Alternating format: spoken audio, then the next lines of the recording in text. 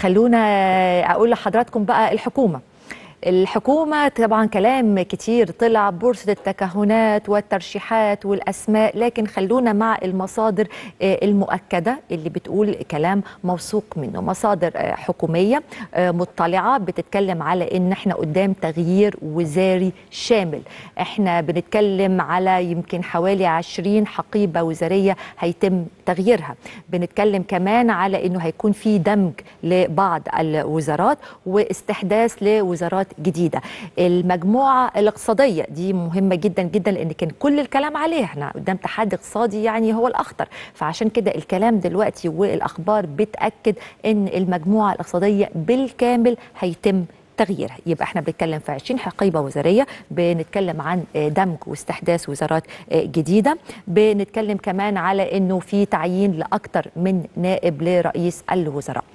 المعايير أو المحددات للاختيار. أفكر حضراتكم لما الرئيس كلف رئيس الوزراء دكتور مصطفى مدبولي بتشكيل الحكومة كان في عبارة أو جملة مهمة جدا توقفنا أمامها. إنه يتم الاستعانة بالخبرات والقدرات والكفاءات المتميزة لأن الوضع صعب. فبالتالي إحنا محتاجين ناس يكون عندهم المقدرة يكون عندهم أفكار جديدة يكون عندهم خبرات.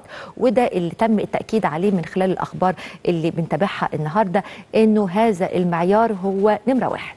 إنه لازم تكون في خبرات وخبرات يعني عالمية لو جاز التعبير آه يكون في سابقة أعمال. محدش هيجي يجرب فينا.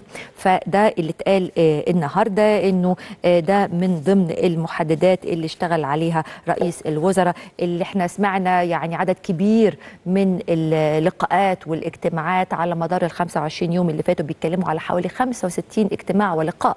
فعشان كده الكم الكبير ده من الاجتماعات واللقاءات لو ده اللي بيدل على إنه في تدقيق إنه آه أنا مش متسربع.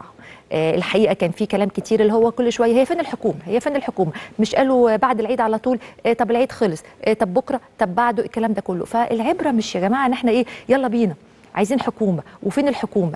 يعني في التأني السلام بالعكس انت كل ما تقعد وتختار وتدقق وتقعد مع الواحد مرة واثنين وثلاثه ما ينفعش تشوف غيره آه تسأل هنا تشوف هنا سابقة أعمال خبرات آه ترشيحات الكلام ده كله. فالفتره اللي إحنا بنتكلم فيها ال 25 يوم تقريبا يعني ده علشان وده اللي بنتمناه وإن شاء الله ده اللي يحصل لأنه الحكومة القادمة يعني قدام اختبار كبير.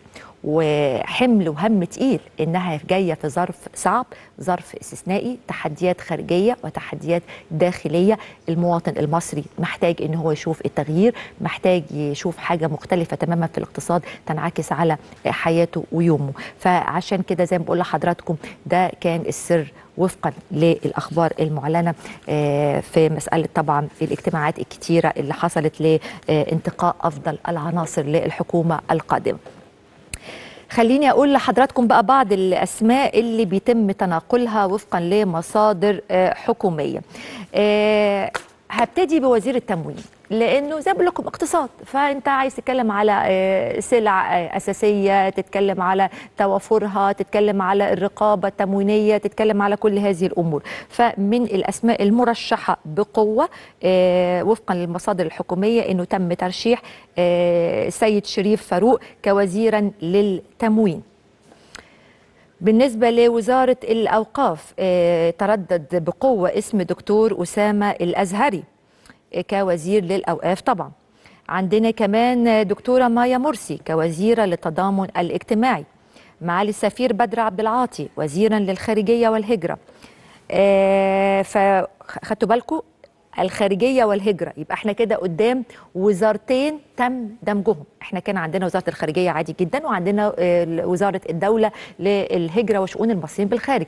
كده إحنا قدام مسمى جديد أو وزارة آه تم دمج يعني اختصاصات الخارجية والهجرة في وزارة واحدة وزارة الخارجية والهجرة والمرشح ليها بقوة معالي السفير بدر عبد العاطي. عندنا كمان وزير الإسكان اسم السيد شريف الشربيني. سيد أحمد كوجك وزير للماليه على فكرة هو طبعا كان نائب وزير الماليه حسن الخطيب وزيرا للاستثمار والتجارة الخارجية. برضو ده مسمى جديد ومختلف قدامنا الاستثمار والتجارة الخارجية. السيد أو معالي المستشار عدنان فنجري وزيرا للعدل. في عندنا كمان وزارة الطيران المرشح ليها السيد سامح الحفني. معالي المستشار محمود فوزي لحقيبة الشؤون النيابية والقانونية والتواصل السياسي. دي أهم الأسماء أو بلاش أقول أهم الأسماء دي الأسماء المؤكدة. دي الأسماء المؤكدة حتى هذه اللحظة وفقا لمصادر حكومية أعلنت أنه تقريبا هذه الأسماء الأقرب أن إحنا نشوفها بكرة أمام سيادة الرئيس عبد الفتاح السيسي وحلف اليمين. طيب إحنا مش بس قدام تغيير في الحكومة أو حكومة جديدة. إحنا أمام كمان حركة محافظين موسعة يعني كان برضو كان في تكهنات كده. هو صح ده مش مش تكليف أو مش لازم يكون في حركة محافظين وفقا للدستور. لكن وفقا لقانون قانون المحليات أو الإدارة المحلية من الأفضل أو المستحسن مع تولي آه الرئيس لفترة ولاية جديدة إنه يكون في حركة محافظين أو يكون في آه تغيير فيها أو حتى يعني إعادة الثقة فيها مرة تانية. إحنا برضو قدام حركة محافظين موسعة. الأخبار والمصادر بتقول إنها هتشمل محافظات القاهرة وشمال سيناء الغربية كفر الشيخ محافظة الإسماعيلية محافظة السويس ومحافظة اسكندرية والأقصر.